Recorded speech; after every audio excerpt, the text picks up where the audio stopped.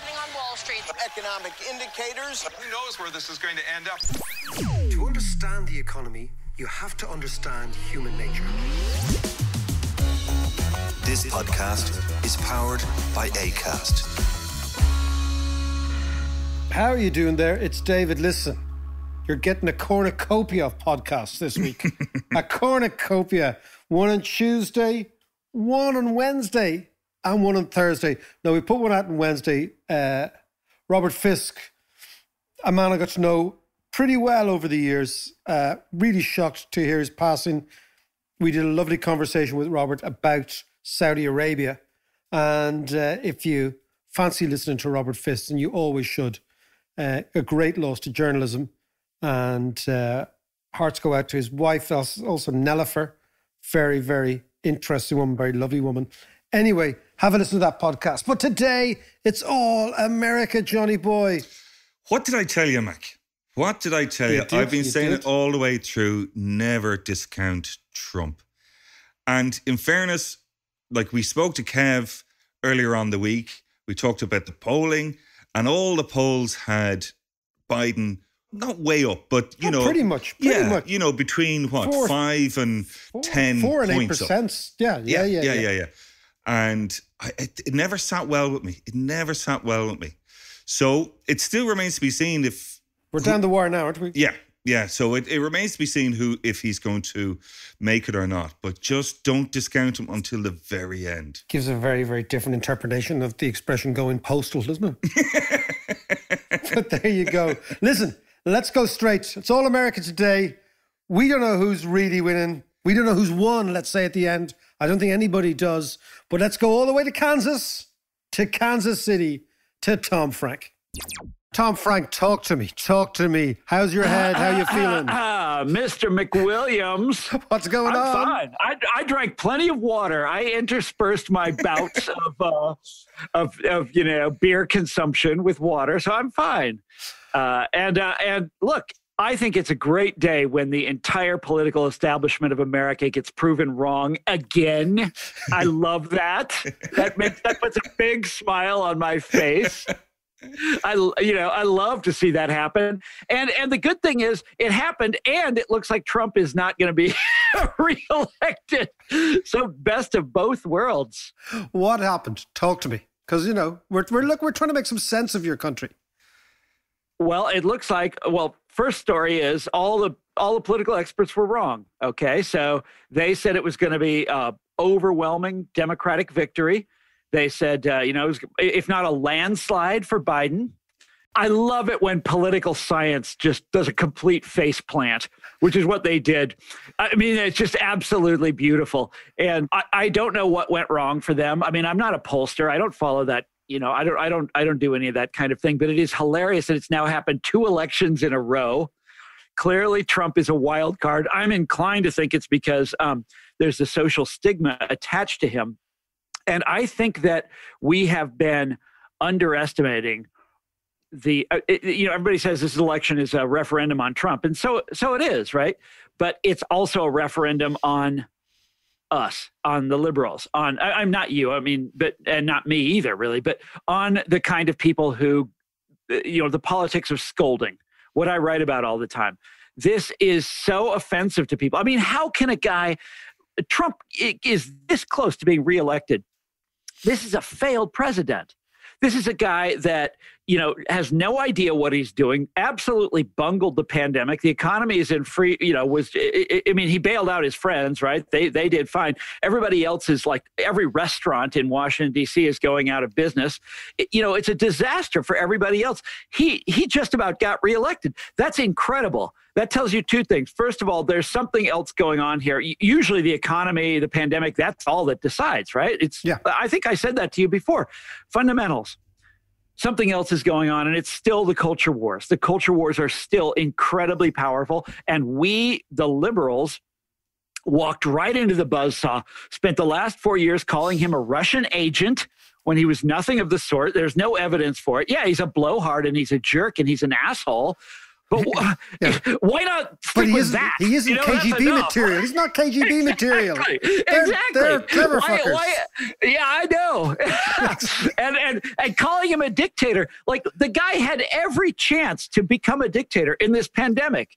Like people are calling for him to go out there and do a national clampdown or whatever, and he won't do it. You know, he's not a Yeah, dictator. so he doesn't- he it's doesn't like he's that- really bad. He's a terrible president, but he's not like this nightmare Hitler, Stalin, you know, uh, mashup. You know, he's not that. No, and, and the interesting thing is he doesn't have. It's very. I mean, because it's very easy to caricature. He doesn't have that autocratic urge to clamp down, to shut down, to do all these sort of things. But I, or he would have used it, but He he, does used it. have he he does he is a loudmouth, and he is a. I mean, he'll say anything, and he'll tweet anything, uh, and he's a, and he's incompetent. And he's a fool, but like that wasn't good enough for the Dems. No, they had to go around and build this entire stereotype of the Trump voter, insult these people, uh, build this social stigma around him, uh, eh, you know, eh, eh, you haven't been in America in, in recent years, but the the climate of, you know, my friends have been canceled. You know, friends of mine have felt the sort of wrath of the of the um, of the of the the, polit- the woke, of the woke of the of the politically self righteous. It, it's utterly and absolutely unfair, and that's just for starters. I mean, there's so many chapters to what has happened in the last four years, all of them offensive. And I say this as a leftist, as someone who like agrees with like I agree with Black Lives Matter. You know, I agree with uh, with with with a lot of these people on a lot of things, but it's it's just like it's staggering, and it's all to avoid looking the facts of 2016 in the face. Anything to avoid that. And those facts are that the Democratic Party is losing its grip on the working class. Uh, and I don't just mean the white working class anymore. That's what I used to say, but look at what's happening. and the and Latino Latino working class is Yep. moving towards Trump and some of the the African Americans. It's a, yep. It's, But certainly well, I mean, Latinos are. Slow, slowly. I mean, it doesn't take much. I mean, uh, it doesn't take a whole lot with uh, with with with those two groups, if the, because they're so overwhelmingly Democratic. The Democrats completely rely on them, and then you you the Democrats go out there and nominate this guy. Biden, who's totally lackluster. I don't know if you've been following the news from America the last couple of weeks.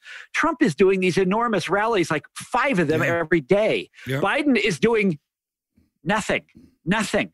And look, I don't know if that if that by itself had any kind of impact, but I bet it did. You know, that's that's incredible that a man who just had COVID and is how old is he? 75 years old or something, is going around the country doing this. That's unbelievable. And uh, you know, what is it about the Democrats that they're always drawn to these feckless, you know, these personalities that do nothing, that promise, that have no big ideas, that promise very little, that are just like, okay, nothing's going to fundamentally change. Remember Biden's notorious remark. By the way, I only recently, I, to my great shame, I only recently started looking at Biden's advisors. You know who who's advising him? It's like all my all my liberal friends are like, oh, maybe when he gets in, he'll he'll show his progressive side. No, He's, his advisors are like like all these Clinton admi- administration all- retreads. It's, it's all the it's it's it's it's the kind of Larry Summers, Rob Rubin types. I don't know Yeah. if it's those guys Yeah. actually, Yeah. but it's those It's- type no, of it's guys. not, it's not those guys. Actually, but it's the Harvard, it's the Harvard, Wall Street, Washington uh, triumvirate, and you see that well, the one the that the one that blew my mind is when I realized it's the architect of Clinton's welfare reform. Is his like oh, this is closest the welfare domestic as we welfare as we don't know and, it. and welfare and welfare as we know it, which was like one of the one of the cruelest things that a Democrat has ever done. And and that guy is advising, you know, no, So so the, so the point is the point is he The- just the expected media to are saying- cruise right back in to do nothing different. Cruise right back in. He was going to eke out a little narrow victory by winning over suburban, white collar, highly educated voters. Uh, he didn't even try, you know, to put uh, put together the old um, Roosevelt coalition, the old New Deal. You know, they don't even they don't even try to do that anymore. So, so And- let, let's let's think about. it. So you say like so. At the moment, the narrative is, and tomorrow morning, the next day, because it does look like Biden might sneak it by a couple of votes, right, or a couple of a couple. Yeah, a couple it looks like right? it looks like he's going to. But the yeah. narrative is going to say this was a referendum on Donald Trump, and by a sliver, the people rejected it. Whereas you're saying, no, no, no, hold on a second. This was not a referendum just on Donald Trump. It was a referendum on the people who spend their summer holidays in Martha's Vineyard. Hell yes, absolutely. Because uh, if you, you live in America and you turn on one channel and it's all Trump all the time. That's Fox News. You turn on another channel and it's they're scolding you constantly, telling you what a fool you are, what an asshole you are. That's CNN or that's MSNBC. And that is the uh, that is the the little uh, cultural universe that we live in here in America now. And you know, if you're like me, well, they both disgust me, but for most Americans are, you That's, know, they're that's either why you're on here. That's why you're on here. I know. I have to go to Ireland to have the, you know, to have somebody listen to me. You know.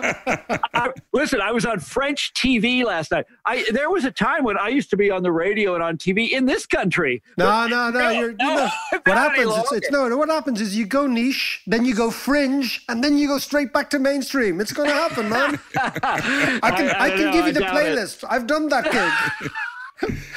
But uh, but listen, Oh so where God. where are we going to be? I, I can see because by the way, we're we're, we're having a chat. Uh, Tom is clearly in his parents' house in Kansas. am, yeah, in I see your Kansas mom, City, I see your dad Yeah. walking around behind. What- He ju- he just turned 92 years old. He, we I'm here for his birthday. He Oh, turned fantastic. Oh, 92. Happy birthday. Happy bir- Yeah. And tell me, It how's was- he feeling about the whole thing? Well, he, um, I, th- I think he supported Trump, and he's, he's, I think he's feeling. I, I don't know. I haven't told him this morning that looks like Trump's going to lose. Don't but tell he, him. Uh, my dad is a great man, but he, uh, the the funny story is he, um, he was born in 1928. Wow. a few a few days before the election. So Calvin Coolidge was president, but Herbert Hoover was about to be elected in a landslide, and uh, Herbert Hoover was a great national hero. And so my his, hi my grandmother named my dad for Herbert Hoover. Is he Herbert Frank? No, it's his middle name. I but he's one it. of the he's one of the only like I went to the Herbert Hoover Library a while ago, and nothing in America is named for Herbert Hoover because, as you know, the Great Depression then Yeah. took Yeah, place. yeah, and he was hated forevermore. But uh, uh, in that brief period in 28, he was still a hero. It was Herbert Hoover, uh, your man Mellon, I told you about. Yeah. Mellon. yep, and, yep, you know the story. Yeah, and the economist uh, Irving Fisher, who Yes. the lesson Uh, to it- all economists don't come out publicly absolutely certain of things because when things go wrong, Irving Fisher Yeah. was the biggest economist in the Right. United States, like, like, Yep. like the capo the tutti capi, and he screwed up But, on but- the well, on wait, the on the Great David, has it Depression. ever, uh, have you ever thought about it this way? It, we're, we're kind of fortunate that, that that guy discredited himself. The entire economics profession in this country discredited themselves in those days. And we're lucky they did because that allowed Roosevelt to just sweep them aside and bring in people that were regarded at the time as cranks. This Yeah, is that's true. Ke- Ke- Keynesianism. yeah, he, Otherwise, he would never have had an opening for, for Keynesianism. otherwise he'd still be on the gold standard. That's what, That's exactly. right. And your uh, and your friend Brian Jennings would have been still in the back. Yeah, William Jennings Bryan. Yeah, Jennings yeah. Bryan, you Yeah, Brian Jennings. right. Actually, Brian Yeah. Jennings was a bloke in my primary school. yeah.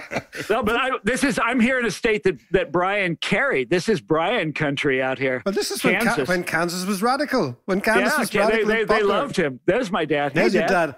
How you These are, doing? gu- these are guys in Ireland. These How are are guys you? in Ireland. I'm not, Yeah. I'm not. I kid you. I kid you not. He can't Yeah. get a gig anywhere else. How did Kansas vote, by the way? Did you all go for Trump? Uh, yeah, I did. Here's the local newspaper.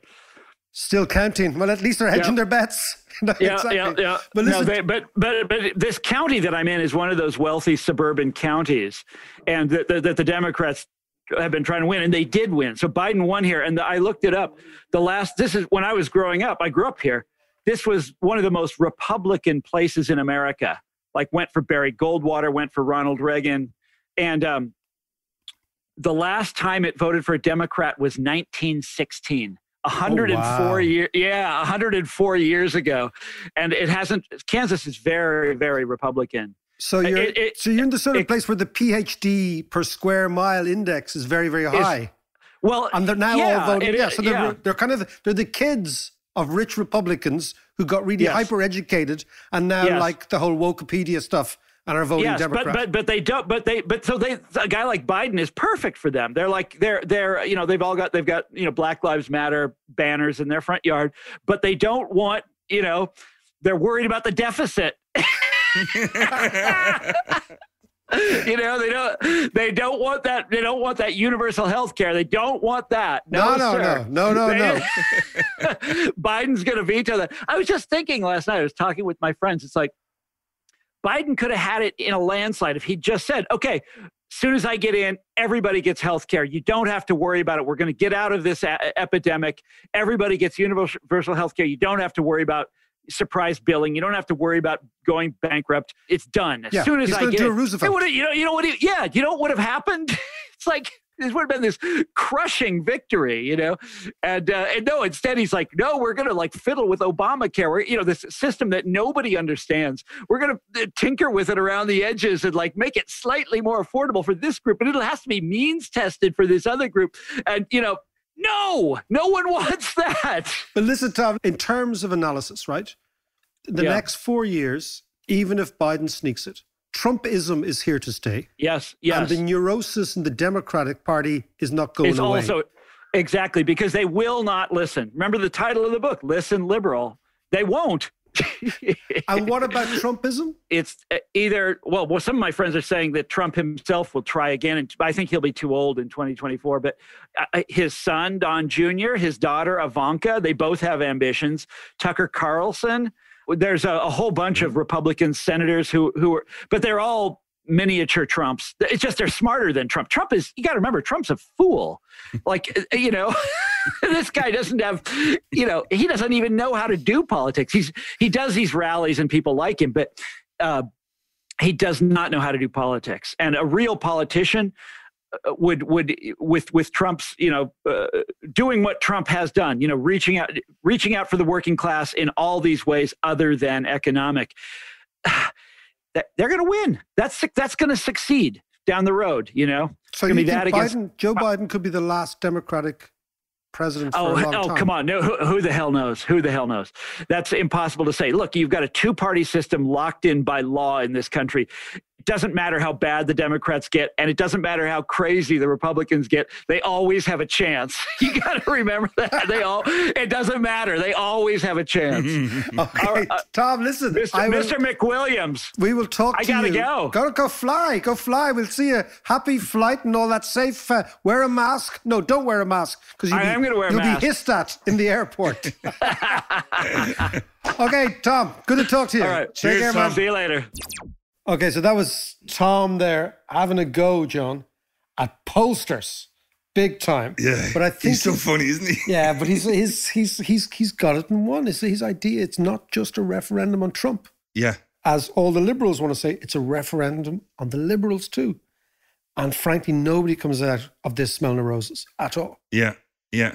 But come here. You mentioned the Clinton welfare thing. Can you remind me of that? So Clinton was obsessed by what he called triangulation. And this was Clinton's big strategy, was to try and find the place between the Republicans and the hard line, which he would describe as Democrats, mm. i.e., the more left Democrats, find the small space that he could get into. And he tacked to the left initially with his healthcare reform. We wouldn't regard it as left at all. We would think it's totally normal. But, you know, I mean, they call it yeah. reform. It's like having public healthcare. Yeah, well, we kind of consider left is normal, don't we? Yeah, well, that's it's true actually. But and Hillary Clinton was the prime mover in his healthcare reforms, Right. and that's when Hillary Clinton began to become the target of the right. And you might know I interviewed her a couple of years later, Yeah. and it was very much part of the background noise in the interview. It was very clear to me, even talking to her, that she was very tetchy about the right, but she was actually also incredibly uh, funny and giggly off camera, which was a strange, Nice, yeah, yeah. and really good fun, giggly. Then on camera, she went into this sort of presidential mode The many faces of many Hillary. faces. But so what Bill Clinton was trying to do, Bill Clinton engineered what Tom Frank doesn't like, which is the centralization or the centrist dad approach. You know this expression, centrist dad. Yeah, They have in the UK. That he would go to the center, right? Yeah. And part of that was he was being dragged by Newt Gingrich, you might remember. do remember him. Over to the right. So Clinton thought, well, how do I actually get back to the center? The right wing are talking all about welfare cheats, etc. Uh, to which the great Neil Young came out with a great song called Welfare Mothers Make Best Lovers in response to the right wing. This is all the sort of weird shit you get on this thing. But uh, he tried to dismantle the welfare system. So the big idea was that he tried to make welfare conditional on behavior. Okay, yeah. And his slogan was welfare, but not as we know it, or welfare as we know it now. That was the idea. The Okay, changed right. idea. Yeah. Now, of course, that was basically to drag the Republicans, or the, the, to push the Republicans away, to drag the Democrats into the center, but also, interestingly for economics, to appease the bond market, because the bond market had consistently been aggressively anti Clinton. Right. And every time he tried to increase welfare budgets or health budgets, they would sell the long bond, they'd sell the US bond.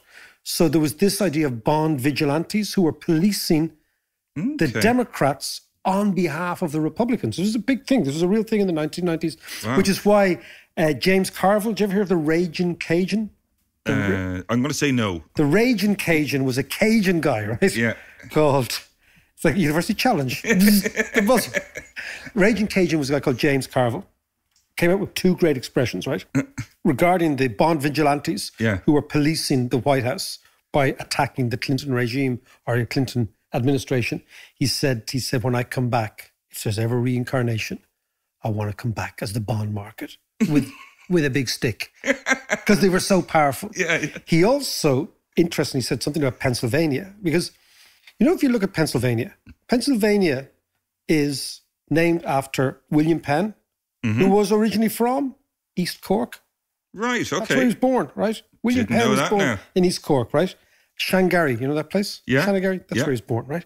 Pennsylvania, Philadelphia is the home of the American Constitution. Mm. This is a place. So when you think of Pennsylvania, you think it's kind of up there beside New York, it's up there beside, you know, the Northeast. Yeah, yeah.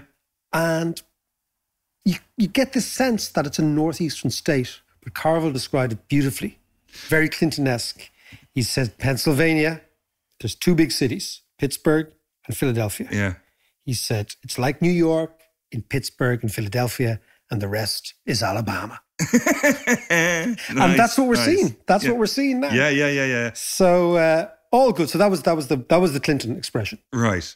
Do you know the other big story of the election that no one's talking about is Kanye? Kanye got 57,000 votes in total. In total. so- But he's not put off by it. He says he's coming back in 2024. Now, I'm not sure if it's going to be him or the hologram. Well, look, America's so mental. It's not inconceivable that the Trump family office will fight the next election. Ivanka are the or the Oh, yeah, yeah, right? yeah. I think that's a strong possibility. and possibility. Kanye and your one Kardashian. yeah, I mean, it's kind of mad. It is a big reality TV show. yeah, yeah. And fascinatingly, it'll be interesting to see who the Democrats come up with. Oprah. There you go. Yeah. On the couch. On the couch. Yeah. There The Oprah go. Book Club. Here we go. yeah, but you see, could you imagine if it was Oprah versus Ivanka versus Yeah. Kanye? Okay, imagine the polls Yeah. Faced with that. Imagine all the nerds, all the people who talk about policy and economics and the bond market and the budget deficit, and you've got these three Yeah. going for it. You know, if the polls got it wrong this time, But you know what might happen is that, that Trump might set up his own polling organization and it'd be totally different to everybody else. fake polls. Fake polls. You can keep your polls. But speaking of fake polls, it's not often that I can say that one profession are eh. less credible than economists. there are weathermen, weatherwomen, economists, and that top of the feckin' pile, there are pollsters. Pollsters. Pollsters, Man. pollsters. Yeah. We've got one of them on uh, Kevin, Kevin Cunningham. We've been bigging you up. We've been bigging up your trade even for quite some time. We're looking at the American numbers. Now, in fairness, you did give us a heads up. You did give us a warning that the polls could be wrong. Kev, explain your trade. Explain what's going on because it, it looks to me like this is. You remember when most of the economists in the world didn't see the 2008 financial crisis coming? This strikes me as something broadly similar for polls. It's a big crisis. it's a huge crisis. You know, a lot of these polling companies would have adjusted. They would have been very conscious of the mistakes that were made in 2016. And for the mistakes to go again in the same direction. I mean, bear in mind, you know, the polls in Michigan were staggeringly large leads. And even at that, they were still trying to be cautious about possibilities of how things might or might not go the right way. Uh, there's a couple of plausible explanations for this.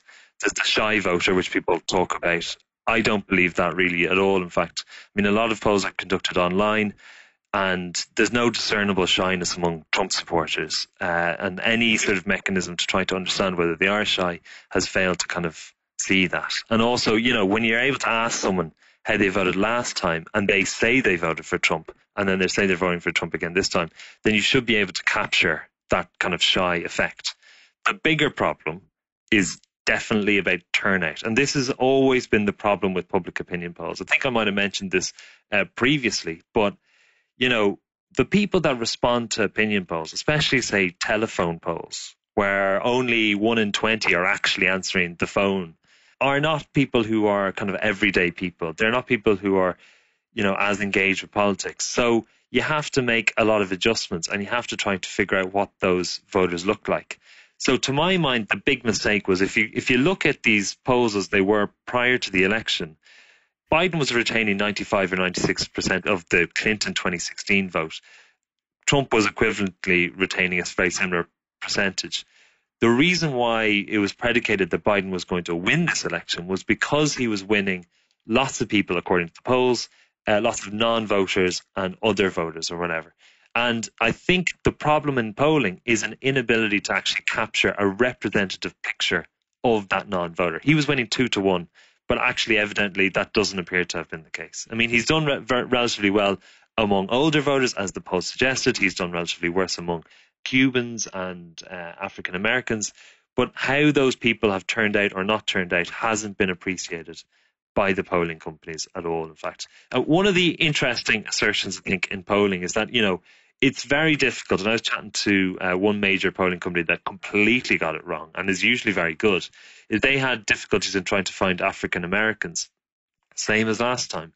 And the problem with that is we have this assumption that, you know, if in previous elections, say 90% of African Americans or, or a very high proportion of Latinos vote a certain way, then the assumption is that, oh, well, sure, if only the rest would turn out, then we'd get a much higher support for our party. Well, actually, what what a lot of that is is if you think about it, why aren't they voting? They're not enthusiastic about the, their preference. It's not just socioeconomic reasons for for less likely to turn out, but actually, if you think about it, all the evidence suggests that there are psychological, almost genetic reasons for people to be left or right. And so to assume that everyone who is African American or everyone who is Latino is instinctively left wing and agrees with the policy agenda of the left wing party, of the Democrats. I think that's that's a false assertion. So when that demographic does increase in turnout, I think you're more likely to find more people who are just naturally uh, more right of centre, whether that be on the economy or whatever it might be. Um, and I think those are the people that have maybe surprised people when they suddenly turned out, when they got you know excited by uh, Donald Trump, I guess, um, and and perhaps because maybe maybe they're maybe they're doing better than they were previously. I I I really don't know about that, but you know when they have turned out in larger numbers, it appears that that thing is balanced out a little bit more between you know the relative support for Democrat or Republicans, and I think that's that's a major feature of where polling has got wrong uh, in, in this particular election. Well, it's interesting, Kev, because in all of these populist versus establishment, let's say, dogfights, whether it's in the UK or whether it's in the US, and, and even Le Pen up until the very last round in France, okay, when it just became an either or. What seems to be the case is the polls overestimate the establishment old school character and they underestimate the popular insurgency. And this seems to be like a, a fault that we've seen again and again. So, interestingly, it's not that they didn't pick up people who didn't vote in the past, or they didn't pick up people who were encouraged to vote now, is they defaulted to a position that doesn't seem to make any sense, even given what we know in the last five or six big elections worldwide. Yeah, I, I think you're on to a very interesting point there, and actually something I hadn't really quite considered until you mentioned it. But if you think about the question, there's a question that always uh, that is really successful at predicting whether someone's going to vote for a, a populist party or not, and it's the question of do you think uh, the people rather than politicians uh, should be running the show, running the country, or whatever it might be? Um, and people who are kind of populist tend towards this idea of the people. I mean, what the people actually means is a is a is a side point, but it, it stems from a lack of trust in the system and lack of trust in, in the establishment and, and that sort of stuff. And I think when I'm asking someone like as a pollster to engage in a public opinion poll, they tend to be people who feel that there is a point to contributing their opinion. There is, you know, they have some level of trust in the system and some level of trust in the subject. Like there's a whole, you know, there's a lot of people who would vote for um, Brexit party and uh, lots of kind of populist parties. But there's actually another rake of people that never vote, even even outside them, who are completely disaffected by the by the system.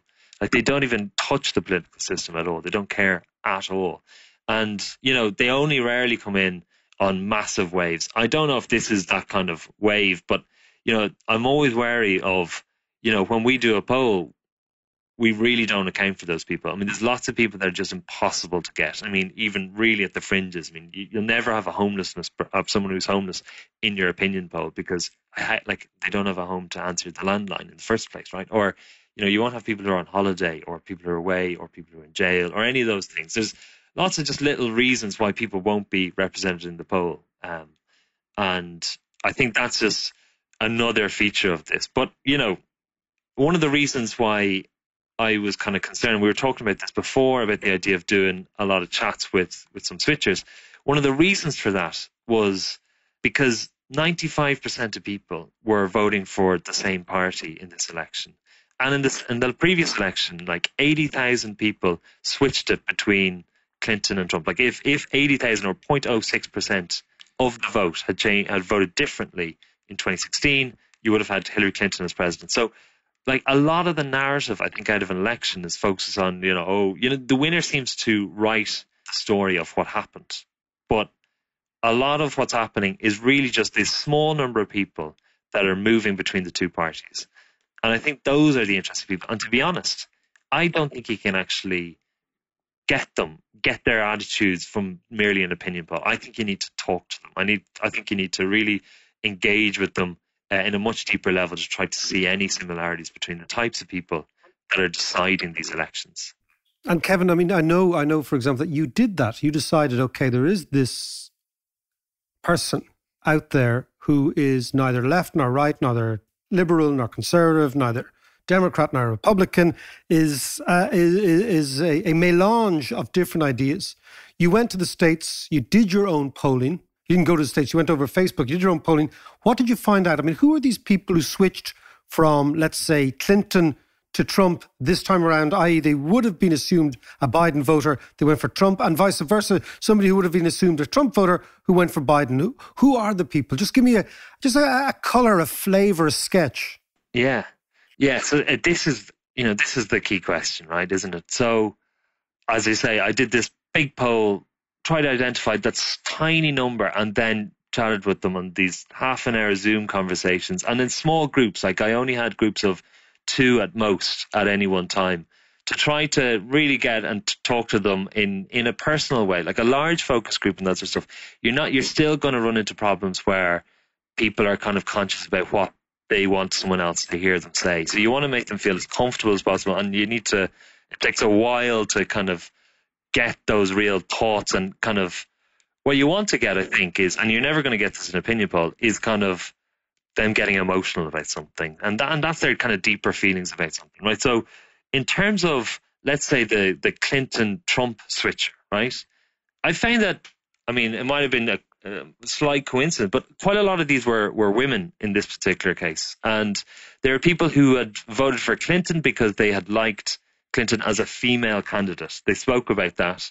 And they were unsure of Donald Trump in, in terms of the men because he was an outsider, whatever. Okay, so there were some men who voted for Trump this time who didn't vote for him last time because he was now a politician. So it's funny how his anti establishment in the first case was a disadvantage to some people. And for some others who, as I said, who had voted for Clinton last time, particularly women, they'd voted for her as a as a woman. But instinctively, when I'm talking to these people, they all were instinctively economically conservative. They were concerned about the economy more generally. Um, I spoke to one Cuban person, young woman uh, from Florida, who didn't vote in the previous election and had voted for Trump, and it was all about the economy. She was very concerned. None of them are like your the type of person that you'd see, you know, with the Trump banner on the back of a pickup truck or whatever it is. Like it's absolutely not those types of people whatsoever. Um, and it's weird how the elections are often, you know, the narrative of an election is often built around the kind of evangelists of either party, but actually when they're determined by these people in the middle ground. So th- this Clinton Trump switcher is economically conservative, concerned about the economy, and we know from the opinion polls, as much as the opinion polls might be right, we can see at least in them that he does relatively well in relation to the economy relative to any other issue. And he and he, he in fact leads on the economy relative to Joe Biden.